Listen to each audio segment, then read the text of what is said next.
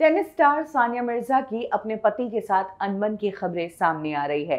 Pakistani daily news के हिसाब से कहा जा रहा है कि सानिया और शोएब लंबे समय से एक दूसरे से अलग रह रहे हैं। इसके पीछे रीजन है शोएब की बेवफाई। शोएब ने सानिया को चीट किया किसी और लड़की के लिए। सानिया को शोएब के इस दूसरे रिश्ते के बारे में जब पता चला, तभी से सानिया ने अपने आप को शोएब से दूर कर लिया है। खैर, अभी तक सानिया और शोएब दोनों में से किसी ने भी इन बातों पर कुछ रिएक्ट नहीं किया है और ना ही इन खबरों को नकारा है। लेकिन सानिया मिर्ज़ा की कुछ और इंस्टाग्राम पोस्ट है जो अब वायरल हो रही है। इन पोस्ट में सानिया मिर्ज़ा ने अकेले रहने की बात की है। स्पेस चाहिए एक लड़की को। ये बात कही है। क्या है सानिया मिर्ज़ा की ये और पोस्ट चले जानते हैं? कभी कभार एक औरत को एक स्पेस चाहिए जैसा सभी को चाहिए होता है।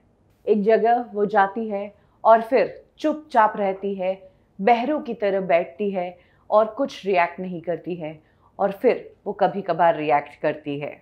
ये वो टाइम होता है जब हम अपने आत्मा की सुन रहे होते हैं। सानिया मिर्ज़ा की एक और पोस्ट वायरल हो रही है, जिसमें उन्होंने कहा है कि अल्लाह जानता है कि आप अब थक चुके हैं।